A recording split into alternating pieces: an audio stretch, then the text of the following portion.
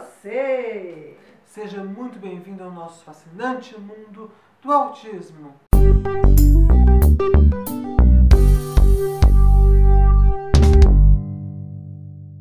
Aproveita que você está aí, se inscreve no canal, dá o seu like e compartilhe! Compartilhe, compartilhe, compartilhe muito! Isso mesmo, essa roda que movimenta a gente, faz a gente ser mais feliz e fazer mais pessoas felizes.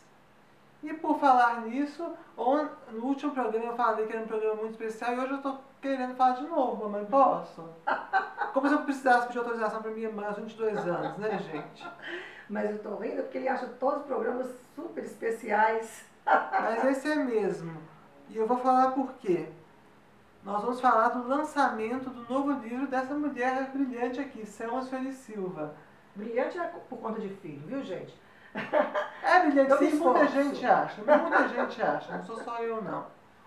É, Camaleônicos é, ao mesmo tempo, o livro, a reportagem e denúncia sobre as dificuldades dos autistas para serem compreendidos. Diante da burocracia e de uma cruel indiferença, são muitos os que desistem de lutar pela aceitação, privando a todos de seus dotes peculiares. A sociedade aceita mais uma palavra escrita em papel, um carimbo, e a assinatura que o pedido honesto e a assinatura que o pedido honesto pelo respeito à diferença. Entender o autismo foi fácil. Mais difícil foi entender o que eles achavam que era o autismo. Essas opiniões estão entre as muitas que foram colhidas pela autora, repletas de emoção, de decepção e, tam da, e também da esperança de quem tantas vezes precisa se camuflar para viver. Ai, como eu sei disso. Camaleônicos. Tanto que eu participei da, da produção desse livro, participei da apuração, mas o lugar de fala, quem vem que escrever esse livro era minha mãe. Pois é. Gente, a minha vida toda, sem o diagnóstico, eu tinha uma, tive uma dificuldade muito grande no serviço, que eu não trabalho sob pressão. Competição me arrasa, que eles falam assim, não, competição, desafio, vai. Não. Cooperação me leva a lugares nunca dantes navegados, mas a tal da competição, sabe? Nem a pressão, nem. Só que anos depois, já com o diagnóstico, eu arrumei um chefe muito danado. Eu quero que você escreva um livro sobre autistas adultos. Que tiveram o diagnóstico depois de adultos, inclusive porque a gente conversa muito sobre isso. E o Victor sempre me falou, poxa mamãe, isso aí dá um, um livro bacana, faz, faz, faz. Uma grande reportagem. Começou despretensiosamente, agora é uma grande reportagem mesmo. Eu te agradeço por isso, filho, porque como jornalista também, o Victor viu naquilo a possibilidade de uma reportagem em que desse é, evidência, que desse luz a tantos autistas que foram diagnosticados, ou até aqueles que não são diagnosticados ainda, e que sofrem. Formalmente? Formalmente. E que sofrem aí camaleonicamente vida fora. Então aqui eu falei com mulheres, falei com homens, falei com especialista, a doutora Raquel Del Monde, que já é né, conhecida da gente, com a Natália Costa, que é a diretora do Senza Betim, que trata de casos de autismo mais severo. É, enfim, falei com tanta gente e aconteceu uma coisa muito doida. Eu fiquei muito mexida. Gente, vocês não têm noção da riqueza dessas vidas. Vocês não têm noção do universo que cada uma dessas pessoas que estão aqui dentro, é, cada universo desse, vocês não têm ideia de como ele é abrangente, de como ele é muito maior do que a gente possa imaginar.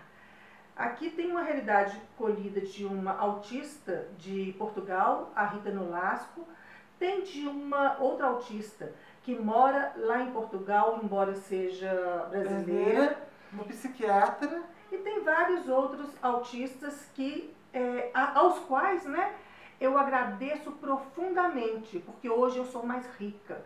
Hoje eu sou mais rica porque vocês toparam compartilhar a história de vocês comigo e permitirem que eu compartilhe com todos vocês, né? com todo o público, porque isso aqui, gente, eu espero que ajude muito educador, principalmente na fase universitária, além do ensino médio também, a entenderem esses autistas.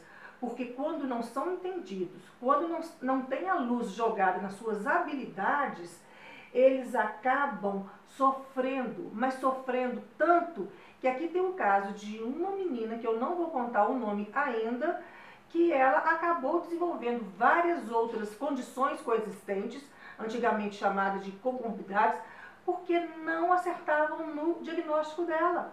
Então, assim, aquele sofrimento na faculdade. Muitos diagnósticos equivocados. Aquele sofrimento na, na, na universidade, aí um diagnóstico não era bem aquele, enfim. Eu vou te contar, eu parei e tive que respirar um dia antes de continuar é, escrevendo. Então aqui tem né, é, pedaços em que eu escrevo sobre o que eles me falaram tem textos deles que eu deixei na íntegra, porque até esse jeito de se expressar e de escrever, é. você dá para você conhecer cada autista aqui. O, o editor do livro, Roberto Mendonça, que é o meu pai, inclusive ex-marido da minha mãe, ele pôs fazer um, uma espécie de prefácio em que ele fala tanto da visão dele, como a minha mãe se alterou depois do diagnóstico, como ela se empoderou depois do diagnóstico, mas, tam, mas também fala como ela. Mas também fala de uma questão mais técnica, da edição. Que o mais importante da edição desse livro foi respeitar a forma como os autistas, cuja maior diferença está na comunicação, como eles se comunicam. Então o editor teve essa preocupação de respeitar como os autistas se comunicam. E tem aquele mito de que o autismo é uma coisa só infantil, que só dá em criança. E hoje a gente está tendo muitos diagnósticos precoces, ainda bem, é o ideal mesmo. Mas a gente tem que entender que o autismo é uma condição, não é uma doença e, portanto, não tem cura.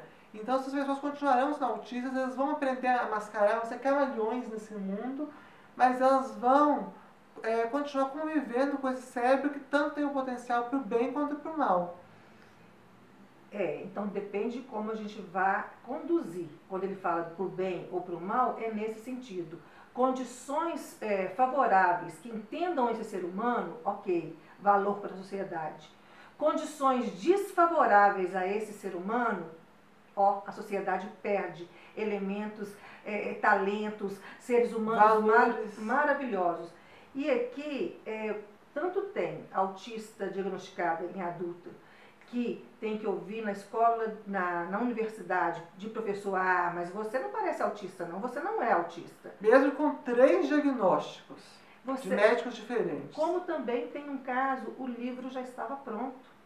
E eu vi esse caso no Face e eu pedi à pessoa, que é aqui de Minas, né, aqui de Belo Horizonte, é Adriana Torres, por favor, é, compartilhe isso com a gente, escreva sobre isso pra gente, porque é, a pessoa, o, o que me deu impressão no texto que ela derramou, ou como ela diria, que ela vomitou, o que me deu impressão foi que o profissional do lado de cá pensava assim, ah, para que ela quer um diagnóstico assim? Então, lidando com vidas que não sabe a dimensão do que, que ele está mexendo. É, muitos profissionais têm medo até receio de dar o, o laudo para o autista adulto, porque acha que já vai dele dar conta. Isso é mais por bobagem, até porque esse autista adulto corre risco de ter uma crise e ser internado e receber um diagnóstico equivocado e, digamos, mais grave do que de autismo, pode causar consequências piores para a vida dele. O diagnóstico de autismo é um norte em qualquer fase da vida e é importantíssimo. Olha só, isso de falar assim que o autista é super sincero, fala tudo, me lembra de uma das frases que mais me incomodaram é, nessa minha busca pelo diagnóstico foi é, ouvir que você quer ser, é, ter o diagnóstico de autista para ter o direito de mandar todo mundo tomar no pi. Olha, gente, não, não é Você quer ter o direito, porque você tem o direito de se conhecer e de ser uma pessoa melhor, de se aprimorar a cada dia. Não é porque você está mais velha e não tão velha assim, mas mesmo se fosse, mesmo se fosse 70 anos, você teria o direito de se conhecer e de se aprimorar. É direito da gente. E sem contar que a gente é que sabe do que, que a gente precisa para se conhecer, para ser melhor, para inclusive ter uma relação melhor com a sociedade. Só a gente sabe o que passa dentro da gente. Esse livro vai ser lançado também no Simpósio Internacional sobre Educação Inclusiva, mas você já pode adquiri-lo também no link que a gente vai colocar. Assim que fala, Victor? Na no descrição. Link, no link que a gente vai colocar na descrição. Combinadinho? Eu acho que vale a pena. Ah, e tem mais. Eu não suspeito para falar, mas eu adorei. Ainda tem mais. O Victor me fez fechar um pacote, me fez prometer, antes de mandar os livros para a gráfica, de eu ter noção do preço dos livros, ele me fez fechar um pacote que cada livro que vai ser lançado, esse meu, o dele e o do pai dele, menino artista, a 35 reais. Então é isso aí. Eu espero que vocês gostem, ok? Ok, até a próxima. Tchau, tchau.